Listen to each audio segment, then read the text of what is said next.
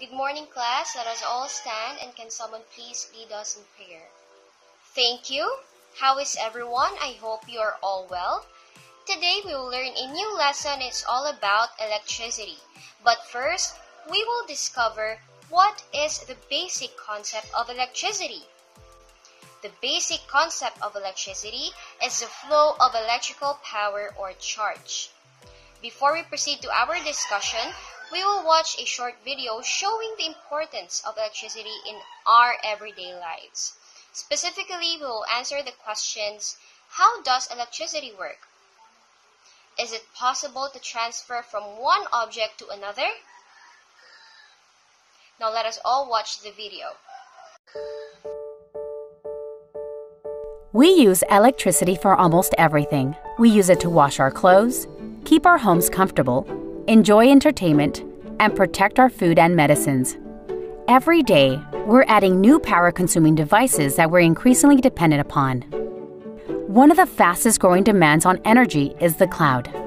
A huge collection of wireless transmitters, data centers, and factories where devices are built, each with huge power demands. With all of our devices constantly accessing the cloud, along with new technologies like cyber and cryptocurrencies, we must continue to generate a massive flow of electricity just to keep our modern lives functioning.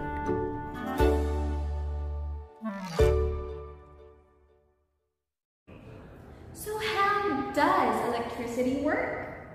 Why don't we find out through an activity? Would you like that? Okay, I think you'll enjoy this one very, very much.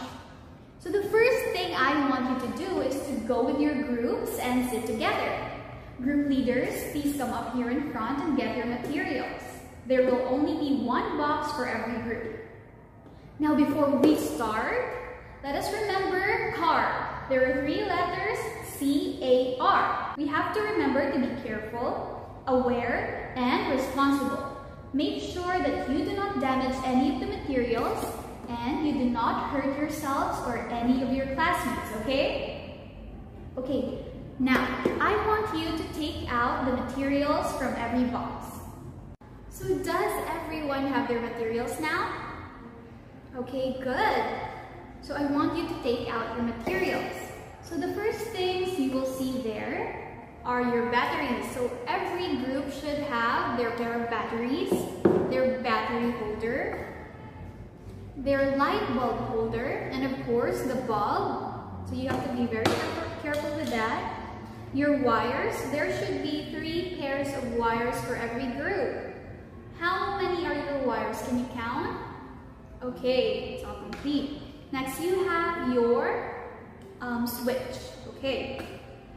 Now I want us to do this together. So I will instruct you step by step and follow after what I do. Okay, first I want you to take your light bulb holder and your bulb. So I want you to screw that bulb in very carefully. So you don't want to squish it, okay? Make it make sure it's secure. And then I want you to take your batteries. Now every battery has a positive and a negative side. So the positive side is this side, and then the negative side is this one, the flat one. Now looking at your holders, there should be signs there of where the positive should face. So you just plop it in there. Okay. And you, you do the same with the other side. Okay. Now make sure it's secure. And the next, the next thing you have to do is to take one, one wire, okay?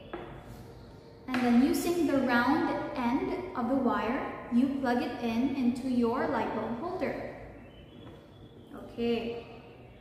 Then using the clip end, you clip one into this side of your battery holder. Okay, let's clip them on there. And then you take one more wire and then you you take this time the flip side you clip it here. So you have to loosen up that knot so that you can clip your wire down there. So this is for safety that you don't ground yourselves, okay? Make sure that there are no wet fingers in there, working on there, okay?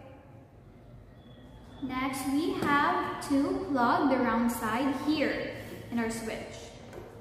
Now, now that all of the three are connected, why don't we try lowering down the lever, okay? Let's see if something happens. Okay, ready? Are you ready? One, two, three. Did your bulb slide up? No? Okay, that's because this circuit is still open. It's still not connected. So we still have to use one more wire. Now using this wire, you use the round end and you plug it in, here, a switch.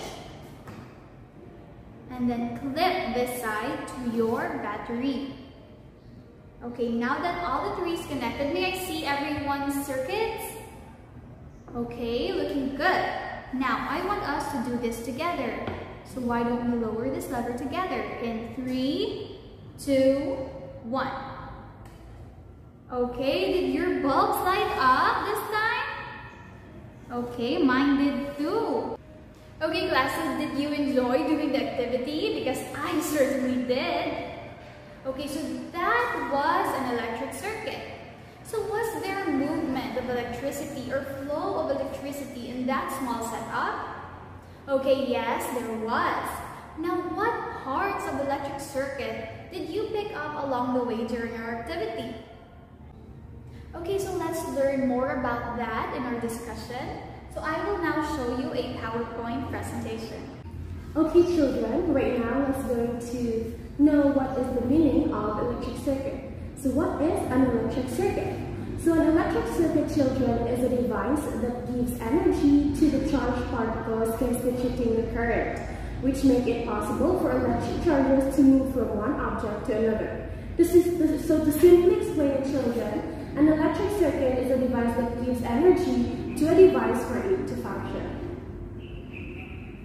Okay, so, so to further understand what is an electric circuit, let us know its four parts.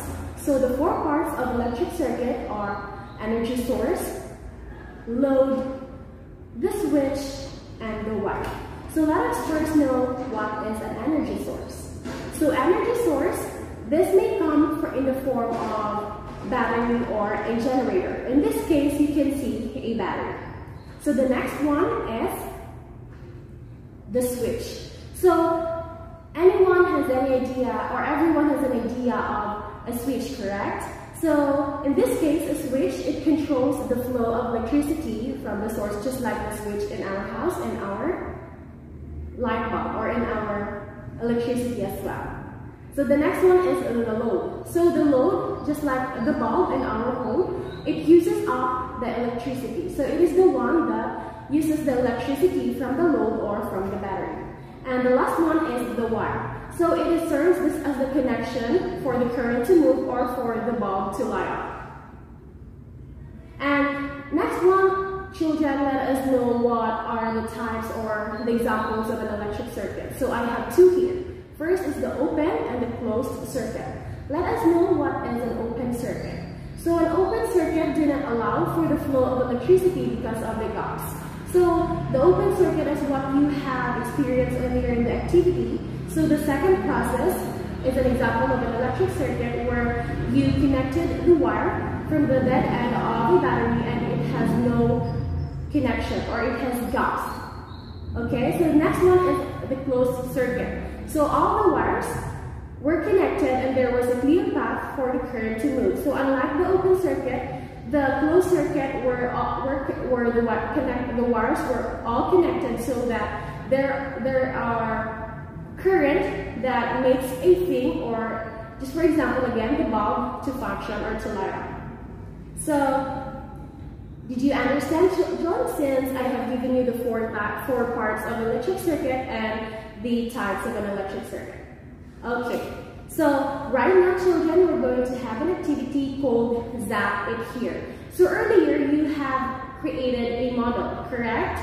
So right now in a piece of paper, each and every one of you will going to draw that model that you have created earlier and label each part of that electric circuit or of that motor. Understood? Okay. For the first part of our assessment today, fill in the blanks with numbers that correspond to the missing parts of the diagram. As you can see there, number 1 we have their switch. Number 2 we have their bulb. And lastly, number 3 we have their battery. For our second part, list down five activities that involve the use of electricity in your everyday life. And for the last part of our assessment today, in your own words, differentiate an open from a closed circuit. Is there any clarification and questions? If there is none, I assume that you are all ready to take the assessment. You may start now. Is everyone finished? Please pass your papers forward. I hope that you have learned our lesson well. That's all for our science class today. Thank you and goodbye class.